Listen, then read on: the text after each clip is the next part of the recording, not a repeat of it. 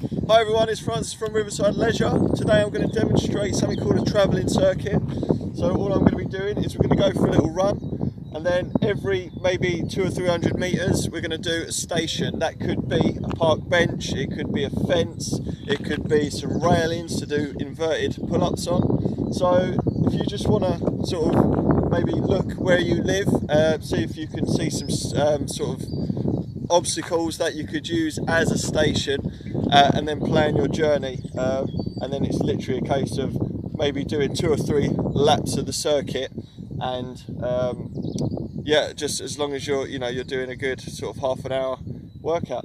I'm going to take you through some examples of each station so if you want to just follow me and I'll show you what you can do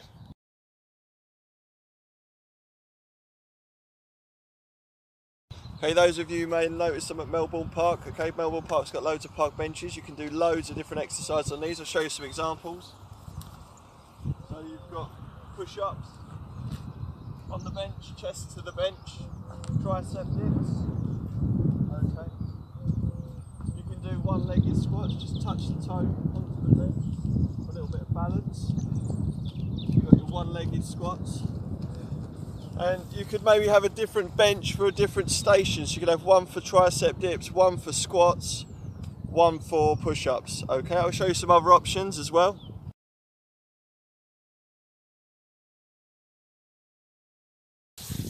Another station for you, just outside the park I found this brick wall. This is great for bunny hops, so you're just going to jump left and right.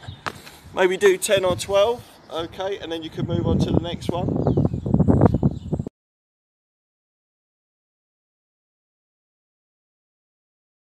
Okay, another station, guys. I found um, locally a piece of hardcore. So you could use this maybe for shoulder press. So just jogging, shoulder pressing. Obviously, whatever you use, make sure you put it back where you find it. Make sure it's not in anyone's way or going to cause any sort of trip hazard. Okay.